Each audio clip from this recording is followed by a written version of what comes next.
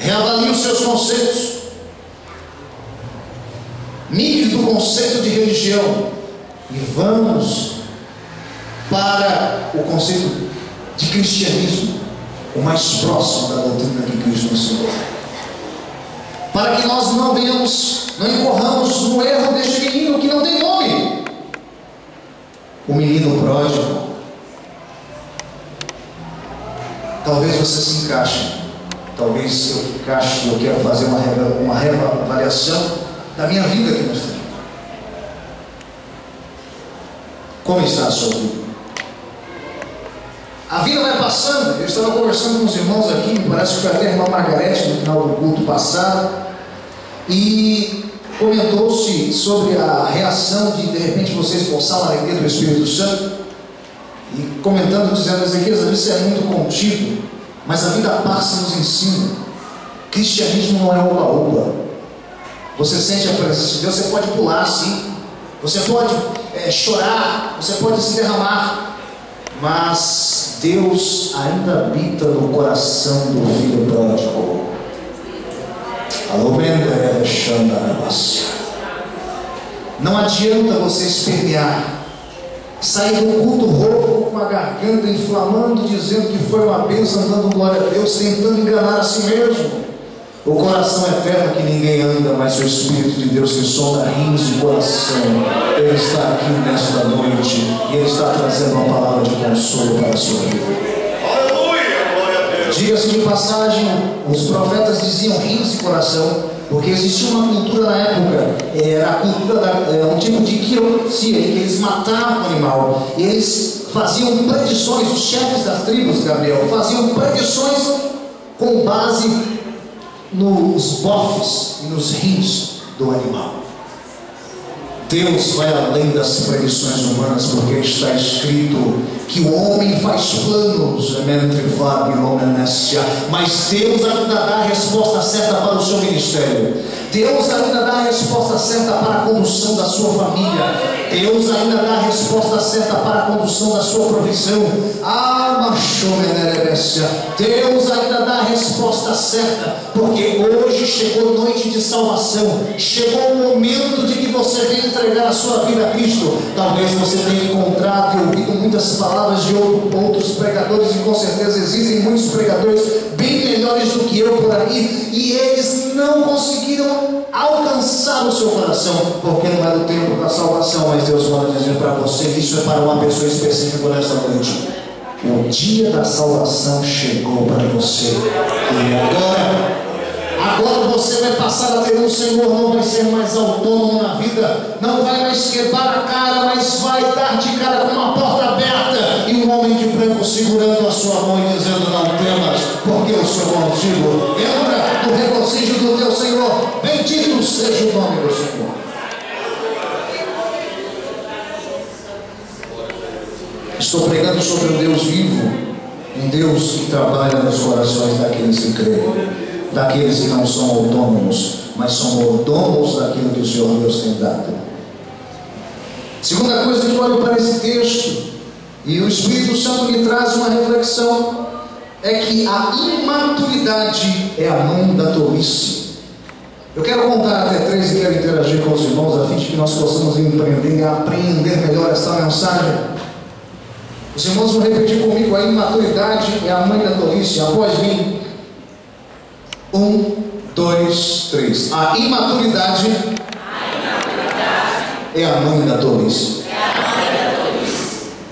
Veja bem, a imaturidade ela está necessariamente ligada à pouca idade.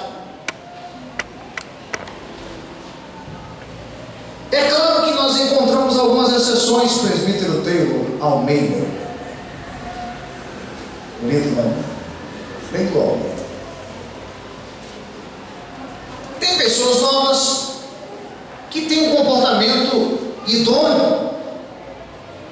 Eu vejo meninos de 21 anos, de 25 anos, que têm comportamento de, de, de, de homem de 35, de, de, de 40. Eu vejo pessoas de 40 anos que têm comportamentos infantis.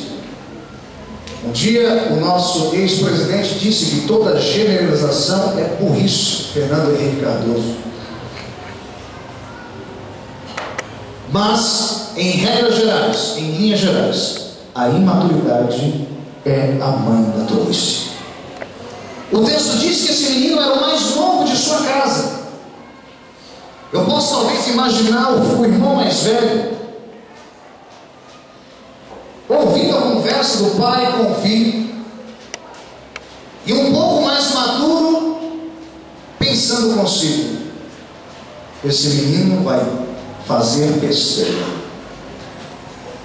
Eu posso imaginar o pai amoroso que é, dando para o filho parte de sua fazenda, mas imaginando que ele um dia iria voltar.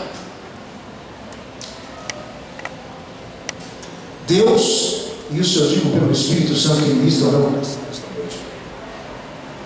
Deus deixou você ir até onde você foi, para que você saiba, para que você saiba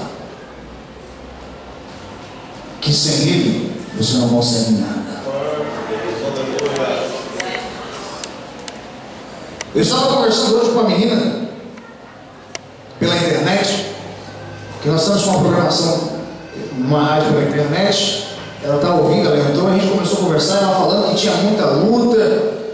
Eu falei, minha irmã, essa é a grande oportunidade da sua vida, é a sua luta. E ela me perguntou por quê?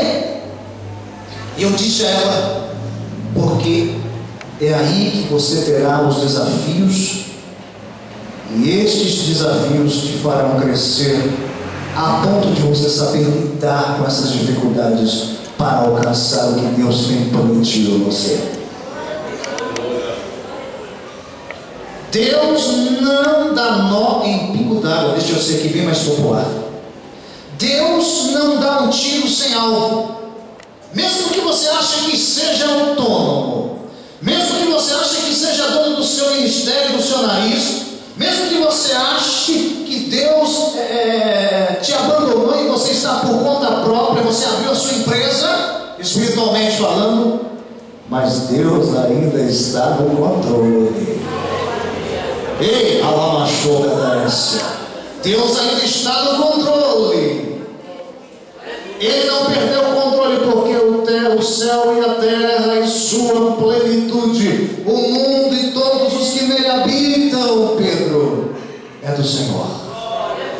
A sua vida, a lamachou e obedece é do Senhor. Ah, e Deus dá uma revelação agora para falar contigo, meu irmão. Eu te vejo, obedece.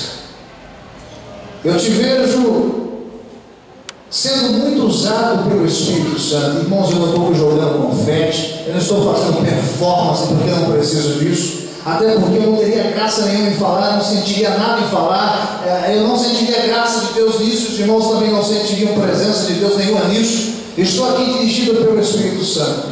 E eu vejo você vermelhinho, porque você já é branquinho, vai ficar vermelhinho quando Deus te usar. E Deus vai começar a te disparar em profecia. Você vai virar metralhadora na mão de Deus. Porque Deus ainda conta com moços e moças, ainda com a nova geração que abra o coração e que esteja nos braços do Pai. E eu quero dizer uma revelação que Deus me dá neste momento. Não poucos meses atrás. Você vai dizer que é mentira na minha cara, eu vou ficar envergonhado se isso não for Deus que está dizendo. Deus usou uma menina para falar contigo que tinha uma grande obra na sua vida. E naquele momento que isso aconteceu, você sentiu fortemente no seu coração. E o tempo passou. E parece que nada acontece. Mas o tempo vai chegar e isso vai acontecer. Porque quem usou naquele momento ela foi Deus e hoje Deus retoma a falar contigo. Você é um vaso e Ele vai te usar fortemente em suas mãos. Estou falando aqui alguma mentira? Lá no show graça. Deus ainda é Deus que revela, irmãos. A imaturidade é ainda tolice. Talvez Deus não te use ainda como deveria usar. Talvez você não prega como queria pregar. Talvez você admire alguém pregando, alguém que, que prega em Camboriú, alguém que prega aqui, um dos companheiros, o pastor dessa congregação, eu que vos falo, outro companheiro que é itinerante, outro pastor que